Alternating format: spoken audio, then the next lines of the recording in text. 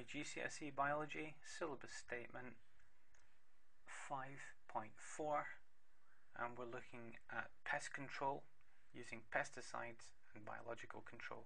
This is 5.4a and we will limit this discussion to the pesticides. So first of all, where we have large fields of crops, all of the same type, this is called a monoculture. These could be fields of wheat, fields of barley, potatoes, rice.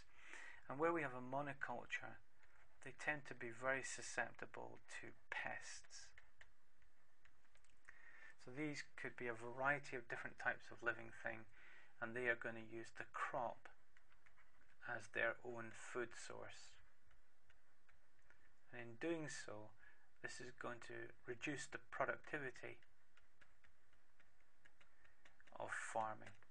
So we would have a, a loss of food and financial impact on the farmer. To overcome this, one pot potential thing that can be done is to use pesticides. Now these are chemicals. If we look at the pros and cons of using pesticides, these are chemicals which are designed to kill the pest.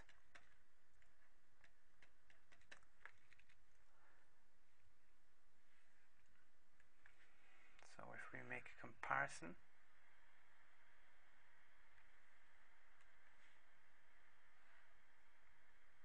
and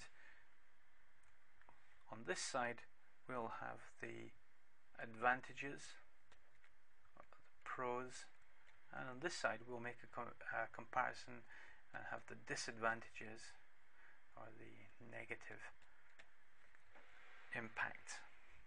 So first of all pesticides are chemicals.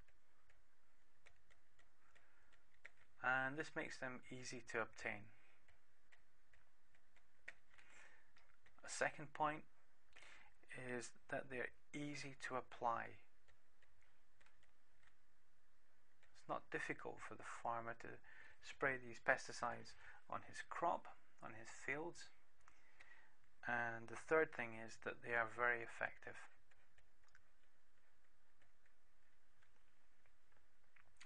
The downside is that many of these chemicals are toxic.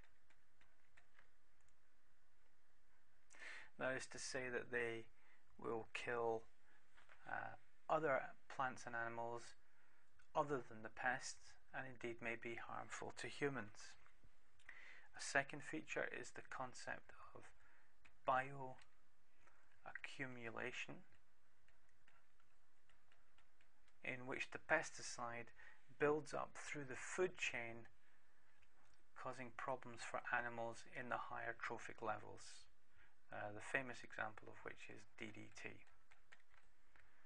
And the final third point is that mutation in the pest often leads to resistance so that the pesticide must be applied in higher concentrations therefore it's more toxic or indeed it no longer works and we have to find an alternative pesticide.